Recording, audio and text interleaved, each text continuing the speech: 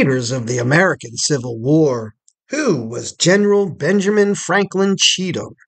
Descending from one of the state's first families, Benjamin Franklin Cheatham had important political connections. In addition, his father Leonard served alongside Zachary Taylor in the War of 1812. It is therefore no surprise that Cheatham would not only aspire to military greatness, but would be an important commander in the Army of Tennessee. Born in October of 1820, Cheatham took an interest in military matters as a young man.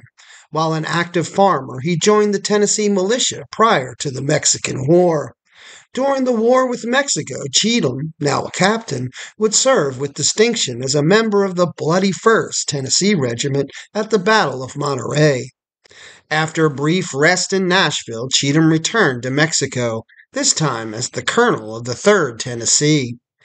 After the war, he spent time providing merchandise for gold rushers in California before returning to Tennessee in 1853. There, he returned to farming, but also took an interest in politics. In addition to an unsuccessful bid for the mayor of Nashville, Cheatham was considered for posts in Utah, Aspinwall, and Panama, all of which, for one reason or another, never came to fruition. He was, however, appointed Major General of the Tennessee Militia.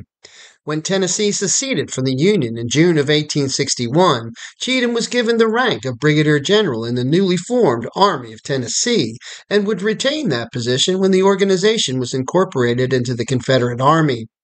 Cheatham subsequently participated in nearly every major engagement in which the Army of Tennessee was involved.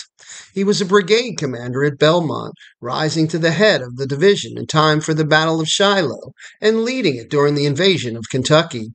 Cheatham sparked controversy at the end of 1862 when he appeared to be inebriated during the Battle of Stones River.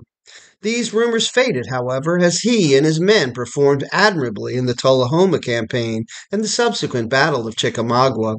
Nevertheless, tensions with Army Commander Braxton Bragg would cause Cheatham to leave the service briefly, returning to the field in time to witness the Army's defeat at Missionary Ridge. In the fall of 1864, Cheatham was given command of William J. Hardee's Corps, which he led during John Bell Hood's advance into Middle Tennessee. During the pursuit, Cheatham skirmished with the enemy's rear guard at Spring Hill, but failed to cut off the Federal line of retreat. Waking the next morning to find that Union troops passed Cheatham's camps during the night, Hood held Cheatham personally responsible for the Yankees' escape. Though responsibility for the affair at Spring Hill has long been the subject of debate by historians, Cheatham's reputation would be forever marred by the incident, and the two generals would feud over it until their deaths. Following the disaster at Franklin and Hood's subsequent defeat at Nashville, Cheatham would finish the war as a division commander under Joseph E. Johnston in North Carolina. After the war, Cheatham returned to Tennessee and in 1872 made another unsuccessful run for public office, this time as a United States Congressman. Two years later, he accepted a post as superintendent of prisons and in 1885 was named postmaster of Nashville. He died the following September at the age of 65.